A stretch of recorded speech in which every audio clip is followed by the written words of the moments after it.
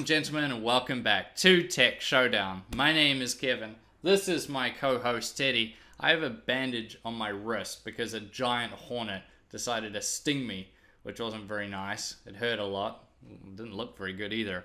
Uh, so, if you followed me on Twitter, you would have known about that as soon as it happened. So, uh, yeah, if you're not following me, that's a good reason to, because then you could find out about this stuff when it happens. Uh, not very nice, but the pain's mostly gone away now, so that's good, but it still doesn't look the greatest, that's for sure. Anyway, today we're talking about the Intel i9 9900K, and basically, there's been a lot of talk about the CPU because of how hot it's been running. Um, a lot of the tech reviewers, there's been a lot of chatter right now about uh, how hot the 9900K runs and also variations from uh, video to video showing how hot uh, it does run, you know, from reviewer to reviewer. We're also going to be featuring the cooler I use, which is the Be Quiet Dark Rock 4, which is an excellent cooler, and we'll talk about that a bit more very soon. But first, I just want to say that something you guys really need to keep in mind is that there's always going to be variation from uh, video to video in terms of the temperature and performance numbers for us tech reviewers. So in the case of the 9900K, we all had a different CPU. It's a 9900K, but there's a silicon lottery. Some of them run hotter than others.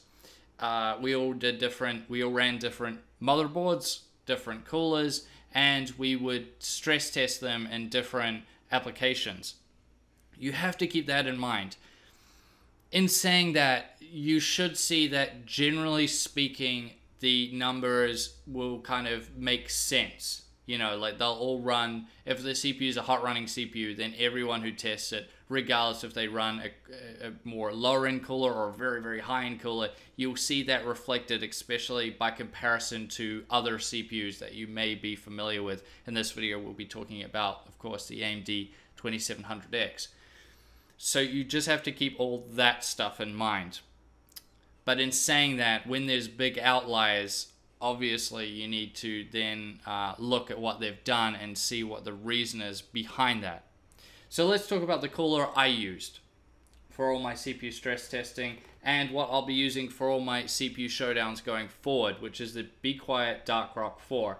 Now I selected this cooler because I felt that it would be the best representation of what the majority of you guys might run. Uh, in terms of its cooling performance compared to other air coolers and even uh, liquid coolers. But let's talk about some of its features. And we'll start with the fan. So it's coming with what they call the Silent Wings 135 millimeter fan, which provides very good airflow, but it's very quiet, which is always a nice thing. It has six copper heat pipes and airflow optimized wave contoured cooling fins on its pretty sizable tower it's got. It's very easy to install and remove, which is good for me for doing my testing, obviously. It's designed in Germany and comes with a three year warranty. Now, I've been using this guy for a, a little while now, and I've been impressed by it. Not only with its cooling performance, but how quiet it is. Uh, so, it is a good cooler, definitely, and I, I really like it. And comparable to other coolers, it would do uh, the same sort of cooling performance job as probably like your 120 millimeter liquid coolers, um, the thick ones, and any of the 140 millimeter single fan uh, tower coolers. I would say this is right on par with all of them. I mean, 135 millimeter fan is pretty much a 140 uh, with a pretty sizable uh, tower there. So that's what I would say it's comparable to, which is again why I think it's a good representation of what many of you guys might be running and why I'll be using it for all of my CPU showdowns going forward. But speaking of showdowns, I did my 2700X versus the 9900K one. And so let's jump into that. So the, the application I used was AIDA64, and a lot of people use this. I did the CPU stress test within that software. And as you guys can see, I'll put it up on the screen right now, you'll see that the stock temperatures fall pretty similar, uh, fall in line with what a lot of the other reviewers saw it was going up to the mid to high 70s. at stock speeds. That's certainly getting up there. And then with the overclock temperatures, you see 91 degrees.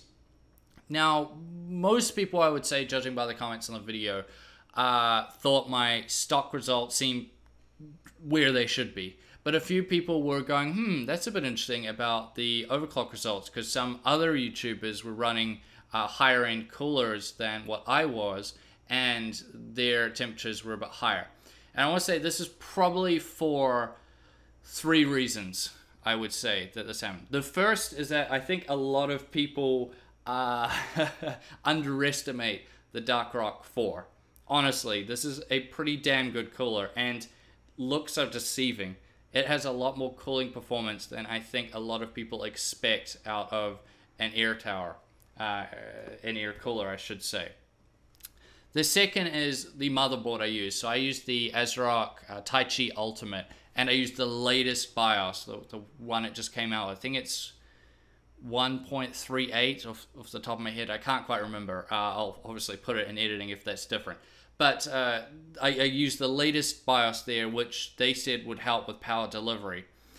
And also, then the third point being that uh, my 9900K that I was using, this guy right here, required less voltage than many other YouTubers. So I saw that many YouTubers, uh, other my tech reviewer friends, were requiring 1.35, some were requiring 1.37 volts to hold like a 5.1 gigahertz overclock. Now with my one, I guess I won the Silicon Lottery. Uh, either that or the Taichi Ultimate just did a fantastic job of, you know, really uh, utilizing this CPU and allowing good overclocks with it. Uh, it's probably a combination of the two actually, because I could do 5.1 gigahertz at 1.3 volts just fine. I think if I played with it a bit more and really tried fine tune in, I could probably get it down lower than that to maybe like 1.29, 1.28 volts. But it was very happy at 1.3 volts. No issues at all. So that's going to round out this video, guys. I want to know what you think about the Intel i9 9900K in regards to temperatures. Do you think it runs too hot, or do you think this is just a case of it's an 8 core, 16 thread CPU running at 5 gigahertz out of the box? So, of course, it's going to be a hot running CPU that's kind of unavoidable, and that uh, we just, you know, anyone running this just obviously needs to be an enthusiast and run enthusiast grade cooling with it? Or do you think it's just excessive now, and, and Intel should have done a better job of trying to control the temperatures with it, if, it, if that was even possible? I'd really like to know what you guys think. Uh, also, I really just have to give a shout out to the Dark Rock 4. Honestly, this is a seriously good cooler, and I do recommend it to any of you guys out there. Um, if you're looking for a a air cooler that's not going to break the bank, that does a really good job while being very quiet and is easy to install, then this is one I would recommend to any of you guys out there. It does a fantastic job. I'm using this in my personal rig, and this is going to be my personal CPU cooler uh, going forward as well. Uh, I really do like it. It's a very good uh, air cooler, and uh, I think a lot of you guys out there would really like it as well. If you're a hardcore enthusiast, then obviously you're going to go for something more uh, high end, you know, much more high end and also much more expensive. But if you're more a casual user who's wanting a, a just a good cooler that doesn't want to spend a huge amount of money, uh, and also you maybe want to just get into some overclocking, then yeah, really do consider the uh, Dark Rock 4. It would be a good cooler for you. Now, I thank you guys for watching this video. I hope you enjoyed it. Uh, please subscribe to Tech Showdown if you haven't already, and leave me a like if you enjoyed the video. And as always, I'll see you guys next time.